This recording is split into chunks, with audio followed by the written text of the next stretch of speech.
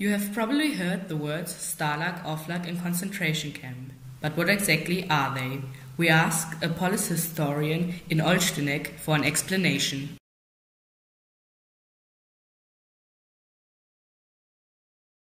Stalag to jest dla zwykłych żołnierzy, Stalag is a camp for ordinary soldiers. czyli miejsce przetrzymywania jeńców wojennych wziętych do niewoli. This is a camp, a place where prison uh, soldiers are kept. Żołnierzy nie wolno wziętych do niewoli, nie wolno było zabijać, mordować, tylko trzeba było ich przetrzymywać w obozie. You mustn't kill the soldiers, but they need to be kept in one place. So they need to stay in a camp. They can't be killed. So that's why the camp, the place where they stay.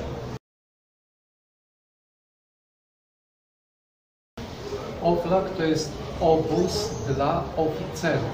It's a camp for officers.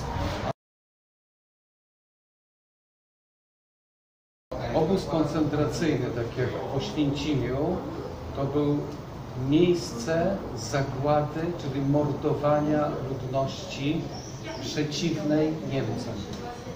Uh, concentration camp is a camp where people were killed.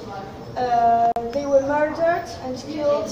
All the people who were opposed to, to Hitler, they were killed in this place.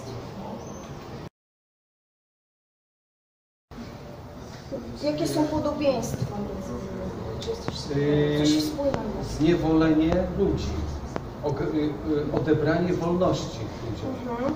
So uh, the similar in all those places is this that people are kept uh, in one place, they are in captivity, they are prisoners, they aren't free.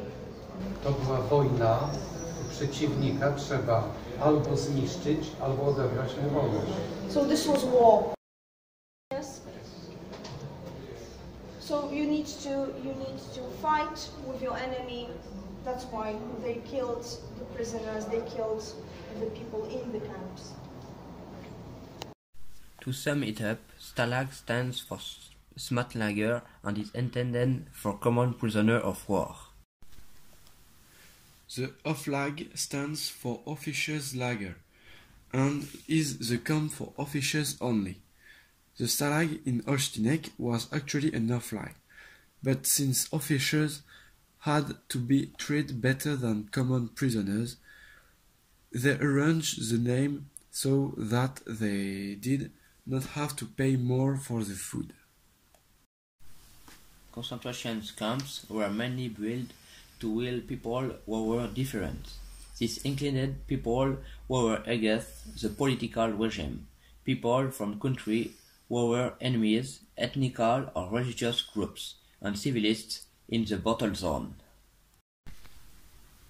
All in all, the three types of camp were built to hold those people captive who did not follow the Nazis' rule. In Poland, France, and Germany, we have many memorial placed live Stalag 1B in Olsztynek, Stalag, Stalag 32B in Stukenbrock, in the Museum of Resistance in Saint-Connan, which remind us of the horrible events that happened in the past.